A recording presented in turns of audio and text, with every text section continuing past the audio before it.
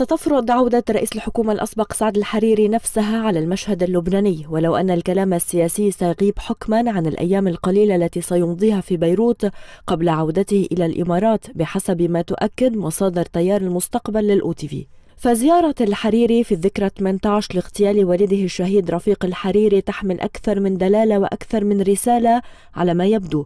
فهي تأتي أولا بعد حوالي العام على إعلانه تعليق العمل السياسي لتيار المستقبل في 24 كانون الثاني 2022 وثانيا على وقع كل التطورات المحلية سياسيا واقتصاديا وماليا واجتماعيا. وثالثا بعد الانتخابات النيابية الأخيرة في أيار المنصرم وما نتج عنها خصوصا على الساحة السنية. عاد الحرير الأحد وسيبقى حتى الأربعاء المقبل بحسب المصادر حيث استهل يومه باللقاءات العائلية ثم مع أهل البيت أي اجتماع لتيار المستقبل بعد ظهر اليوم والذي شدد فيه على تعليق العمل السياسي.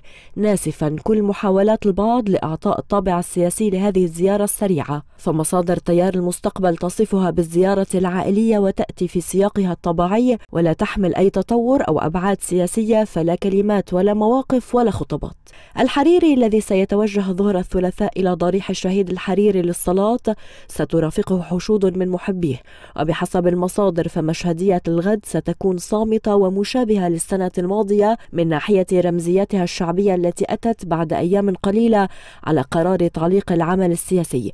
أي أن جمهور رفيق الحريري سيتواجد للصلاة وقراءة الفاتحة والوقوف إلى جانب سعد الحريري بما يمثل ومن يمثل وما يرمز.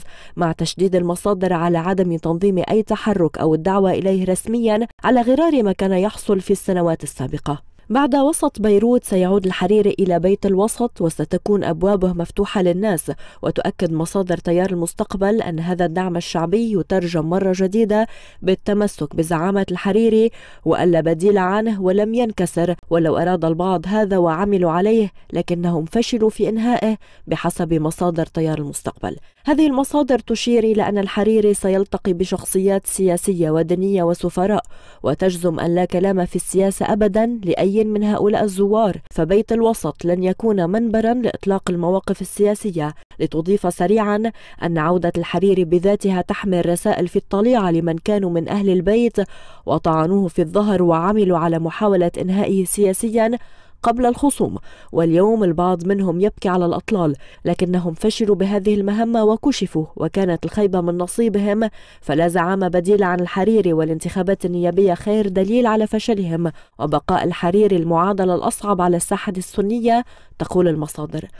تتابع المصادر وتقول إن الخصوم قبل المقربين يعترفون من خلال مواقفهم أن غياب الحريري عن الساحة خلق خللا في التوازن إذ غابت اليد التي كانت ممدودة للجميع بنيه التواصل للخير العام وصالح البلد وتقريب وجهات النظر.